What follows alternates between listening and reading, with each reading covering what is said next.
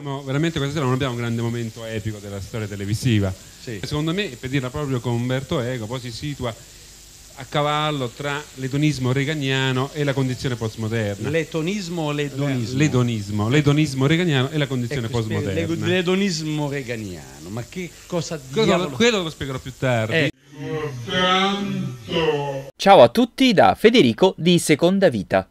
Quando a quelli della notte il giornalista Roberto D'Agostino coniò l'espressione edonismo reganiano, probabilmente solo lui ne conosceva veramente il significato. Non arriverà mai a spiegarlo chiaramente, eppure quello che era nato come un simpatico scherzo diventerà una felice intuizione per sintetizzare lo spirito della metà di un decennio, quello degli anni Ottanta, che riempiva interi stadi al grido di Born in the USA e teneva sul comodino una copia dell'insostenibile leggerezza dell'essere di Milan Kundera, dal quale emergeva la nuova figura dell'uomo oggetto. D'Agostino coniava la sua frase esattamente un anno prima dell'uscita di un film hollywoodiano che sarà l'incarnazione in cellulosa proprio di quell'edonismo reganiano, raccontando una storia di piloti d'élite pieni di testosterone, vestiti con giubbotti di pelle shot e occhiali da sole Ray-Ban, sempre pronti a spingersi al massimo pur di mettersi in mostra.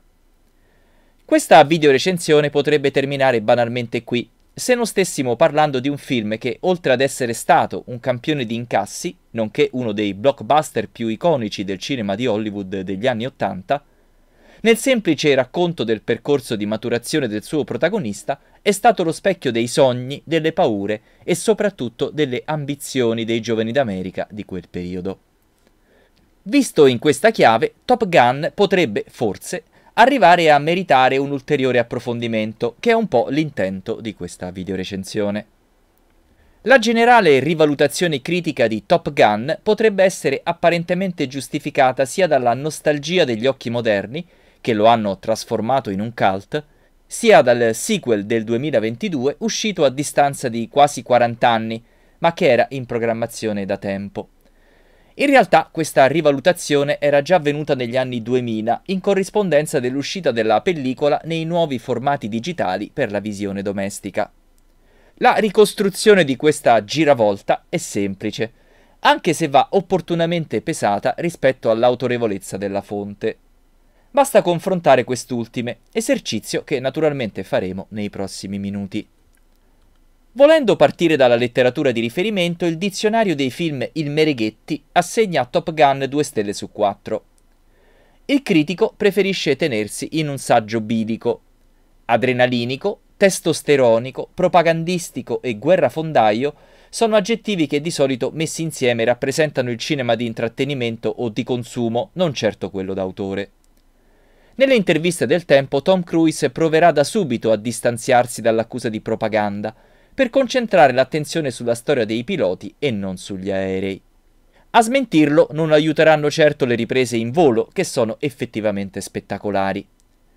Ad aiutarlo un po' di più sarà invece la sua prova da protagonista. Col nome di battaglia di Maverick, Tom Cruise è un pilota incosciente, sbruffone e perennemente influenzato dal fantasma del padre, scomparso in un'azione top secret. Il risultato è un personaggio particolarmente azzeccato, anche nel gioco di sensi di colpa e contrasti depressivi che emergono nella seconda parte del film, conseguenza della dipartita del compagno amico Goose di Anthony Edwards, il Dr. Green della fortunata serie ER. Il testa bene o il mottempari, riferito a Maverick per la sua impasse, forse è uscito dal pensiero di più di qualcuno. Nota di merito va soprattutto alla colonna sonora, una di quelle di maggior successo di sempre, trainata dal terzo Oscar a Giorgio Moroder per Take My Breath Away, premiata come miglior canzone. La colonna sonora è ascoltabile in qualità CD su Quobaz nella doppia versione originale ed estesa con bonus track, quest'ultima a 24 bit ma incompleta. Nelle parole del Mereghetti nessuna menzione speciale, ed è giusto, per l'ex cameriera Kelly McGillis, che dopo l'intensa prova di Witness, in Top Gun le viene affidato un ruolo con dei dialoghi tremendi che non possono che penalizzarla. Dopo il successivo sotto accusa, la McGillis resterà legata solo a ruoli minori. Grande successo di botteghino anche nel nostro paese, esordirà al secondo posto in classifica delle visioni al cinema, la pellicola sarà sponsorizzata dal Dipartimento della Difesa statunitense che metterà a disposizione del film una portaerei, una base navale e un'intera squadriglia di aerei supersonici. La sensazione di stare vedendo un lungo spot pubblicitario della Marina statunitense è costante per tutto il film. Non a caso per la regia sarà scelto Tony Scott, fratello di Ridley, con passate esperienze come regista di spot televisivi. Milionaria produzione di Don Simpson e Jerry Bruckheimer, Top Gun era per Chuck del tempo, in estrema sintesi, una bella furbata, di cui non si sentiva particolare necessità.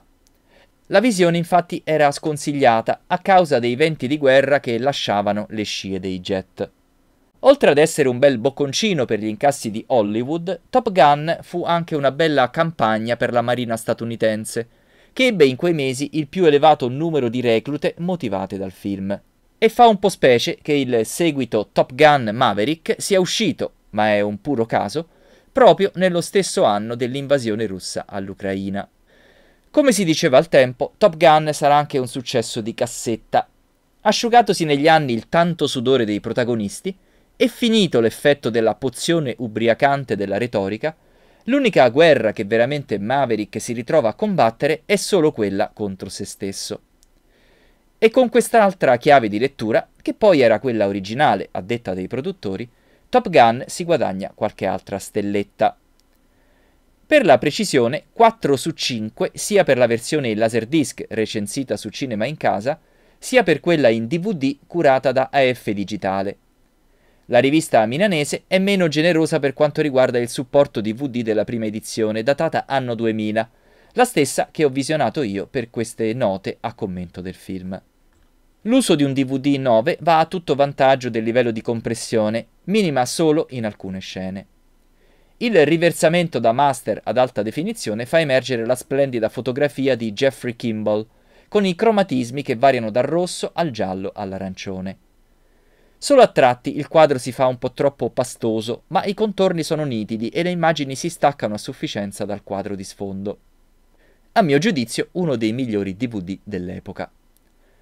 Purtroppo l'audio, solo surround, per la nostra traccia, non regge il confronto con quella multicanale inglese, ma nonostante effetti di panning sul retro solo monofonici, si vive comunque una certa emozione nella visione, soprattutto nelle scene di inseguimento degli aerei.